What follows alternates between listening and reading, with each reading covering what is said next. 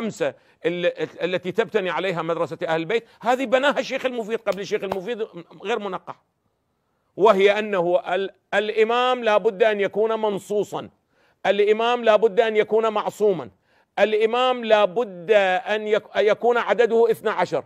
الإمام الثاني عشر لا بد أن يكون ماذا؟ حيا. هذه الأصول التي بناها بناها الشيخ المفيد مولانا في كتبه. وقبل ذلك ومنه صارت أصول المذهب.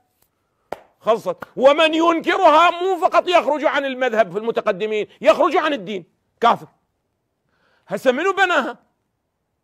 أنت لم تسمعها من الإمام الصادق. أنا لو كنت في خدمة الإمام الصادق لو كنت في خدمة رسول الله ويقول الاعتقاد بإمامتنا أصل الدين فمن أنكرنا فهو إلى النار. من يعتقد بعصمته يقبل. انتهت القضية. أليس كذلك؟ ولكن أنت ممن تسمعها تسمع من الشيخ المفيد الذي هو في القرن الخامس. اواخر الرابع و يعني بين بينه وبين النبي؟ بين النبي أربعة قرون. واتخذت واصلا مسلما. يعني الآن أقولها بشكل واضح.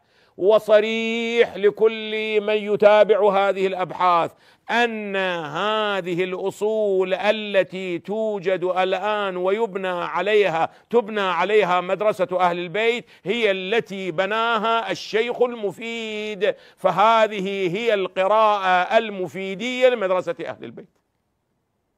انتهت القضية واللي عنده هذا هذا هذا بالمناسبه عام عند كل المسلمين جزاك الله خيرا يعني انت عندما ت... وهكذا انت عندما ترجع إلى المعتزله هكذا عندما ترجع إلى الاشاعره الان 80% 90% من العالم الاسلامي هم من ماذا؟ من الاشاعره يعني الاتجاه العام الحاكم في العالم هو الاتجاه الاشعري الاشعري ابو الحسن الاشعري في القرن الثالث مولانا انتهت القضية واصل وانتهت حتى في المذاهب الفقهيه انت تجد بانه اربعه مذاهب فقهيه المذاهب الرسميه وما بعد ذلك يقولون اغلق باب الاجتهاد حتى لو فتح باب الاجتهاد فتح باب الاجتهاد في الأصول التي بناها هؤلاء الأعلام الأربعة.